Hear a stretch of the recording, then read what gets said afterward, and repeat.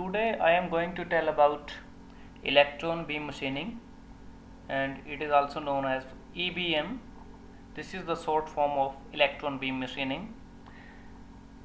Electron beam machining has been used in industry since the 1960s initially in nuclear and aerospace welding applications. Now we will discuss about basic equipments and removal mechanism now we will discuss about basic equipment and removal mechanism. The main components of EBM are housed in a vacuum chamber and that is evacuated to about 10 raised to power minus 4 torr and this is the vacuum chamber. And here is the viewing port and this is the fixture for the workpiece on which workpiece is mounted. And this is the workpiece and this is the electron gun. This is the electron gun. And this is the grid cup. And this is cathode. As we can see electron gun cathode electron emitting filament and grid cup. And uh, this uh, filament that is made up of tungsten and it is heated to about 250 to 500 2500 to 3000 degrees Celsius in order to emit the electron.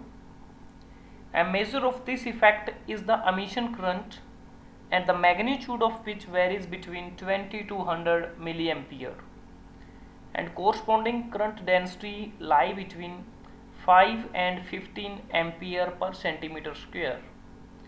Emission current depends upon cathode material temperature and the high voltage that is usually about 150 kilovolt.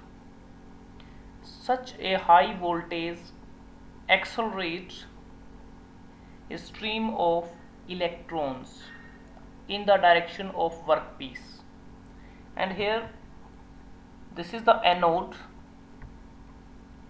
and when electrons are emitted from the tungsten filament and this is the stream of the electron that is accelerate in the direction of the workpiece. And after acceleration electron focused by the field and travel through the hole in the anode. And electron beam then refocused by a magnetic or electronic lens. These are the electronic and magnetic lens. Here it is refocused so beam is directed under control towards the workpiece. And here the electron maintain the velocity 228 into 10 raised to power 3 kilometer per second imparted by the acceleration voltage until they strike the workpiece.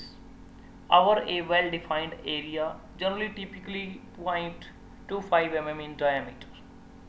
And here the kinetic energy of electron is then rapidly transmitted into heat causing a corresponding rapid increase in temperature of the workpiece. As we can see here local heating and fusing and vaporizing the workpiece material to well above its boiling point and thus causing the material removal by evaporation. And with power density of 1.55 megawatt per mm square involved in EBM virtually all engineering materials can be machined by this machining technique. And EBM generally used for drilling small holes, cutting, engraving and heat treatment are a set of modern applications used in semiconductor manufacturing as well as micro machining areas. So today we have learned about electron beam machining. Subscribe to get more updates on mechanical topics Anuniverse double 2 you may like share and comment. Give your suggestions if required. You can also submit your query on this topic and ask by commenting. Thank you. Have a nice day